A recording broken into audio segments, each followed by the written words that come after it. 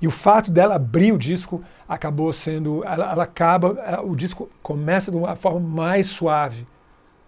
E vai entrando no seu cérebro e tomando conta de você. E aí, quando começa o disco, você já está completamente hipnotizado por aquilo.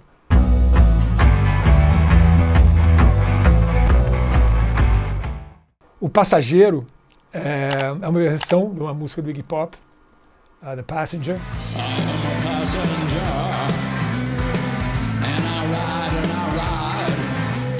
Eu acho que um, a, o Capital vinha fazendo versões, uh, vinha antes e continuou fazendo depois também, versões de, de, de rock, a gente fez de rock um, francês.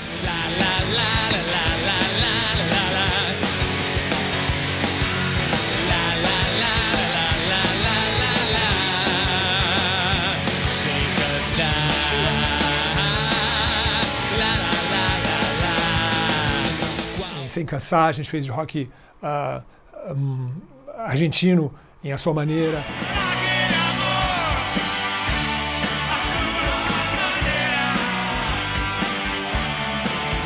A gente já tinha feito antes, a gente já, já tinha gravado 2001 da Rita Lee e do Tom Zé. Astronauta libertado, minha vida me ultrapassa em qualquer rota que eu passe.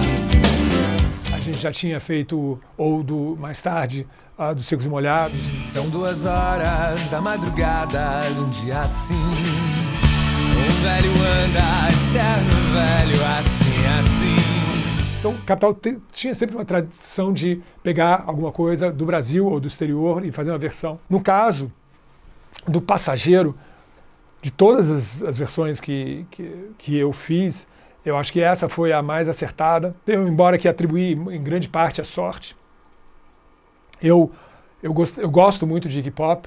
Eu conheço uma outra versão dessa música também feita pela Suzy, Suzy and the Banshees, que é muito legal. E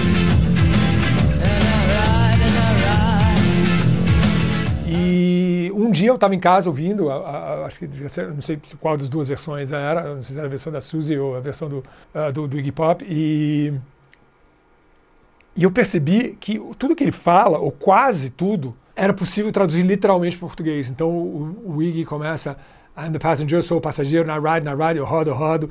Uh, I see the city's backsides, ele fala algo assim, eu vejo a cidade. Uh, ou seja, era possível, pegando é, grande parte, uma boa parte da letra, era possível traduzir exatamente como o Iggy Pop tinha feito.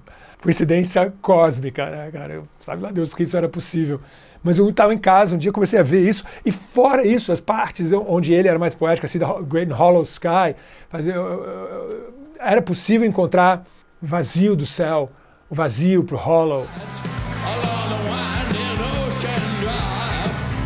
E ele deu caminho do mar. Ou seja, mesmo as licenças poéticas, que eram similares, similares ao que, ao que o Iggy Pop tinha feito, eram metricamente corretas, cabiam dentro da letra. Acho uma coincidência surpreendente. Eu, eu fiz em pouco tempo. Peguei o papel, brrr, vi, caraca, cabe, dá pra fazer sem, sem, sem alterar a métrica, a melodia. E, e, e, ainda mais, se mantendo fiel ao que o cara tinha escrito. É raro isso, você poder traduzir algo, você poder fazer uma letra que não, não é tão longe do que o texto original. Por exemplo, quando a gente fez, só falar das versões seguintes, quando a gente foi fazer a sua maneira, por exemplo, não deu para fazer. Aí, naquele caso, é uma tradução fonética, o só. No, no, o sentido não foi mantido. Não, era, não foi possível, não consegui manter o que o Soda Stereo dizia. Mas no caso do, do caso do, do Iggy Pop, é integralmente fiel a, com pequenos desvios.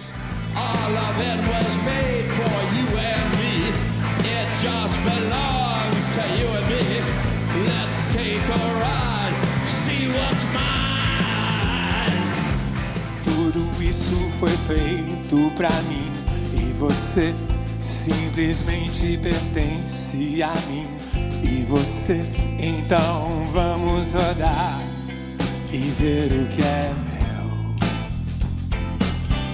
A gente regravou isso em 91. Cacilda, 39 anos atrás.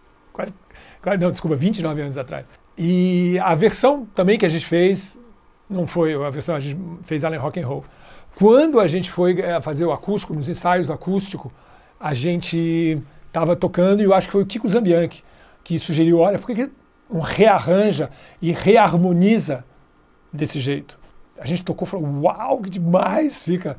A gente, na verdade, a gente rearranjou muita coisa, a gente reinterpretou várias canções, muitas coisas do próprio do, do, do repertório do Capital, compostas por nós, também foram, foram ah, reharmonizadas e rearranjadas. Essa ficou uma desconstrução. Ela foi refeita em outra direção, de outra forma, e ela virou um hino.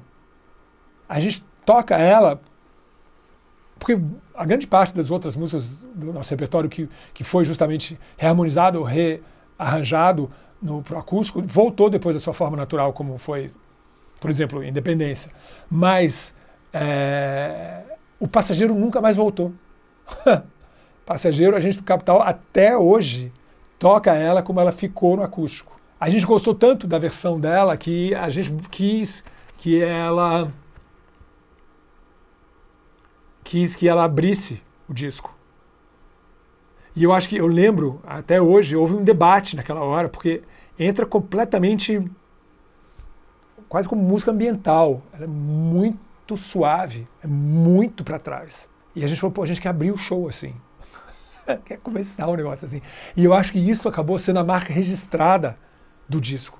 E da, e da turnê ali naquele, naquele momento também. É algo que começava muito suave.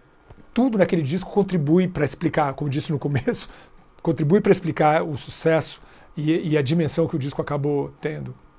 E eu acredito até a ordem das músicas.